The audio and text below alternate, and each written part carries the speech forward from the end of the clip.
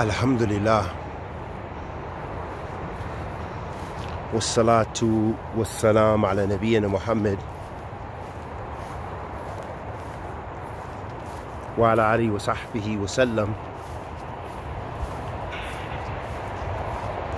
أما بعد. أحبتي في الله. السلام عليكم ورحمة الله وبركاته. We ask Allah subhanahu wa ta'ala the Almighty, the most magnificent, the most merciful, wa Ta'ala, to grant us all success fi dunya wal akhirah, in this life as well as the hereafter. And may Allah subhanahu wa ta'ala forgive us and protect us from our own evil souls. أحبت في الله Allah subhanahu wa ta'ala says في كتابه الكريم كل نفس ذائقة الموت Every soul will taste death. This is something that we're guaranteed. We're guaranteed to taste death. Meaning we will all be afflicted with the trial of death and leaving our loved ones and the and them leaving us. No one's going to escape that. Everyone is guaranteed that. We know this from the Sunnatullah and we know this from the Sunnah to Hayat meaning the way of life and the way of Allah Azza wa Jal. Allah has decreed that. He says it in, in the Quran. And we know this. This is what human history shows us. That human beings, animals, uh, all of the beasts, insects, everything dies. So everything and everyone will taste death. With that being the case, ahabatifillah, if we're truly cognizant with regards to that fact that we will taste death. Then we'll be fully cognizant of death. We all believe that. We all know that as Muslims. And even most non Muslim communities believe in death, and many of them believe in some sort of afterlife. So since we believe that, the next stage is to be cognizant of that, to be like aware. Aware, meaning that this is something, this is a state that you're in. You're aware that death can touch you at any time and that we're all going to be, we're all going to perish. That would then, of course, entail that we begin to act. We begin to act and prepare ourselves for that full accounting and for which is Yom Hisab, but for the event of death. And that isn't in the way that many people believe of just, you know, I've got to prepare my will. I've got to get my financial affairs together. I've got to get this and that. But no, it means the preparation and the acknowledgement that your deeds are going to cease. So the preparation means that you're going to prepare for death by doing what? وَعَمَلَ الصَّالِحَةِ and doing righteous deeds. So this is how you'll prepare.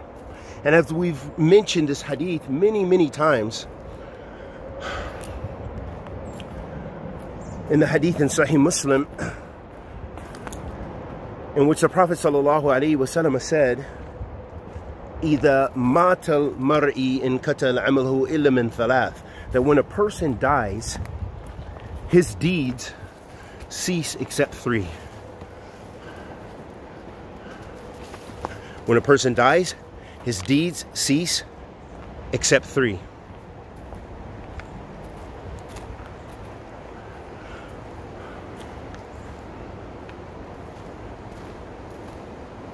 A sadaqah jariyah,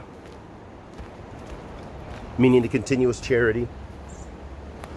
Al-ilm yuntafa' bih, knowledge that the people benefit from or that is benefited from. وَوَلَدٍ صَالِحٍ يَدْعُو لَهُ And a righteous child that supplicates for him after he's he or she has died. Ahabatifillah, this shows us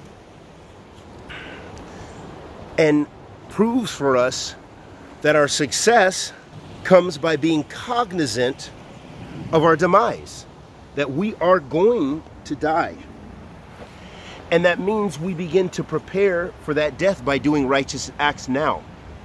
That we begin to make tawbah to Allah subhanahu wa ta'ala, that we begin to do righteous deeds of charity, that we begin to follow the book of Allah subhanahu wa ta'ala, as Allah Azza wa Jal says, في كتابه الكريم, وتعاون على البر والتقوى ولا تعاون على إثم وعدوان that Allah subhanahu wa ta'ala says in the Quran, He tabarak wa ta'ala says, and cooperate وتعاون على البر والتقوى. You know, cooperate in piety and righteousness. ولا تعاون على إثم and do not cooperate in sinfulness and hatred. Subhanallah. Every time we mention those ayat, it drives home so many important lessons when we reflect. Reflect upon the book of Allah Azza. Learn its explanation, its meaning from the mufassirin, from Ahl Sunnati wal Jama'ah, from the mutaqaddimin, wal mutaakhirin from those people in the, the, the classical scholars and the more contemporary scholars, as long as their interpretation is in line with the Salaf of this Ummah.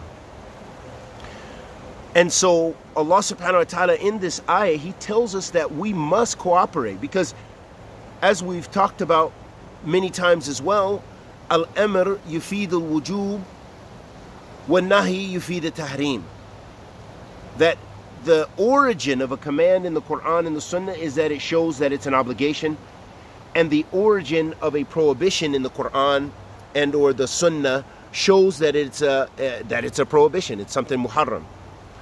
So the fact that Allah Subhanahu wa Taala commanded us in the imperative form, wa ta'awanu, and cooperate. You know, this is in the imperative form. He's commanding you this that shows us that it's an act of ibadah to do it, and it shows that it's an obligation to do it, because it's not an obligation unless it's ibadah.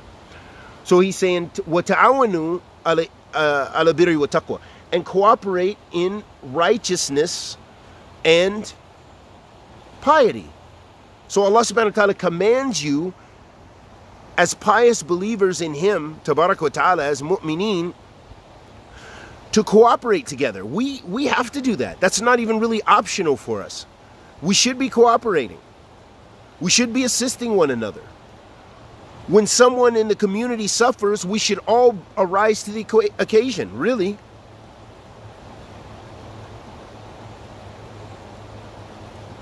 But it is muqayyad, it is restricted. In that Allah subhanahu wa ta'ala says, وَتَعَاوَنُوا عَلَى بِرِّ وَتَقْوَى So that means you, when you're doing this cooperation, that it's on, it's in piety and righteousness. So, and we know that when we talk about, uh, Allah subhanahu wa ta'ala says, بِرِّ وَتَقْوَى Bir encompasses everything good. Every kind of righteousness and good. And taqwa, ahabati fillah, as some of the Salaf used to say, that taqwa Allah Azza wa Jal is adhering to the commandments of Allah subhanahu wa ta'ala and avoiding the prohibitions. And some of them describe that taqwa, taqwa Allah subhanahu wa ta'ala is actually when you put a barrier between you in the hellfire. This is what the, the taqwa is.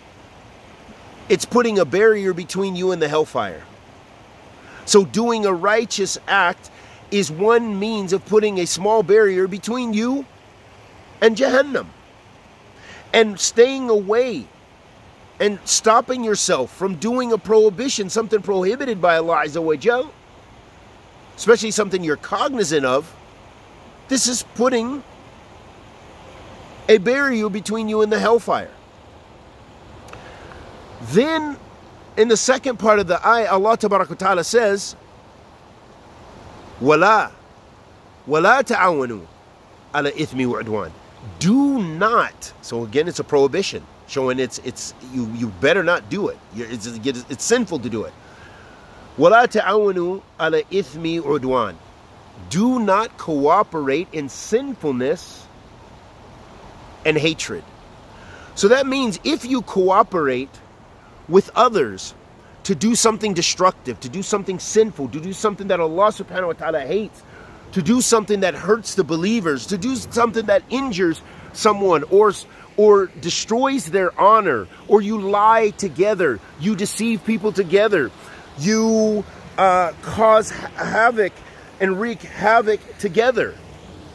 You're a part of a group of mubtadi'ah, spreading bid'ah together. This harms the religion of Allah subhanahu wa ta'ala. It puts a tarnish, even though it doesn't actually harm Allah subhanahu wa ta'ala nor his deen, but it can harm the name of it in the eyes of the people.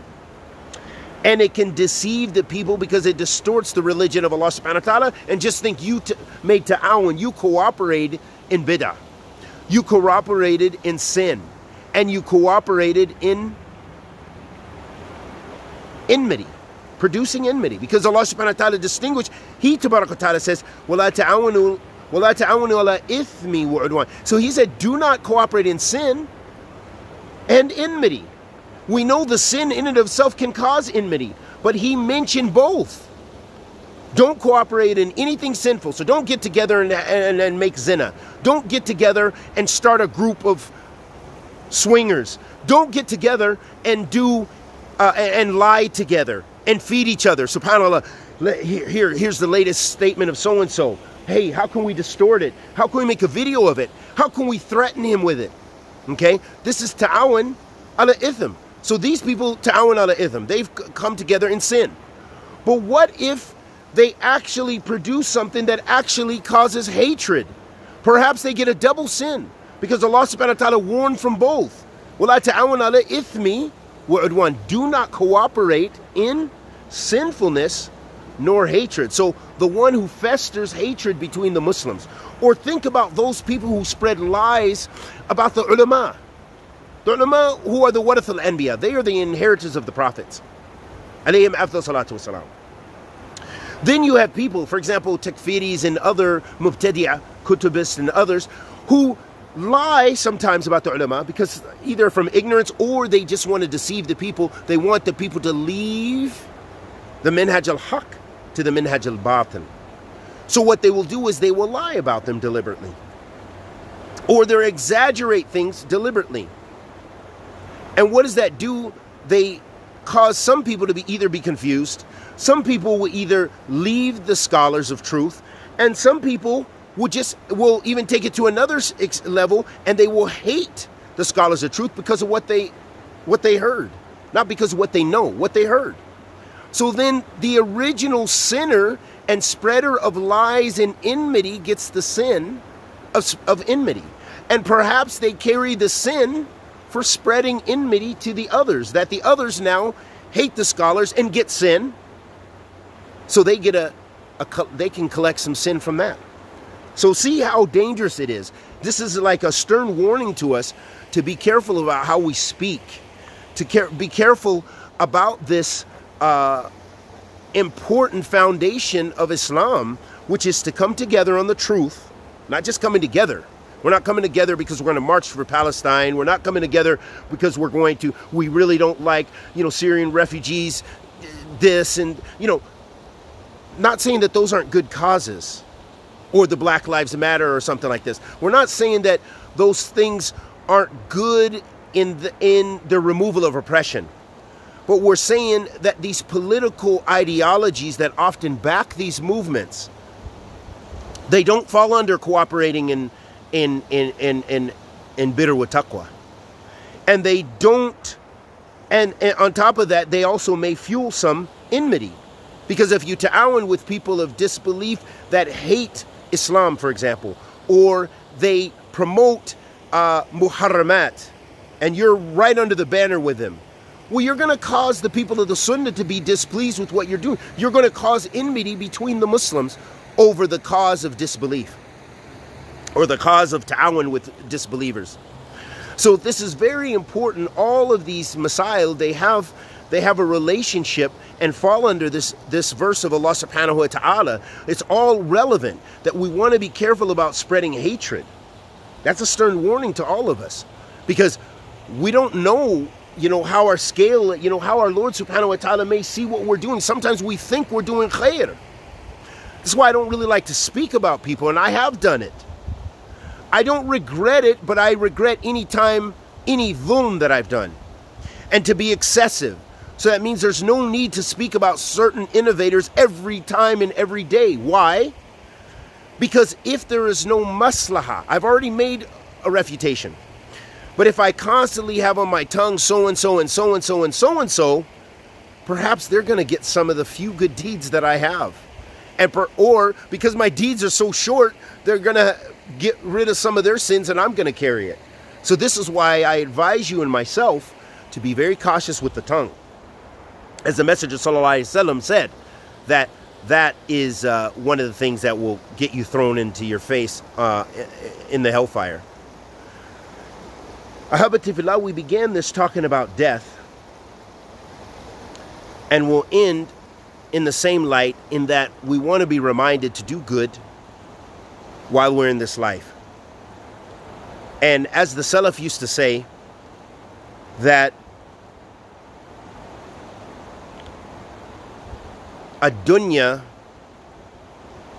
dar al-amal wal akhirah dar jaza this life is the time for deeds meaning it's the time for good deeds you know because obviously we want to do good and the akhirah is the time to reap the uh, to sow what you reap, or to reap what you sow.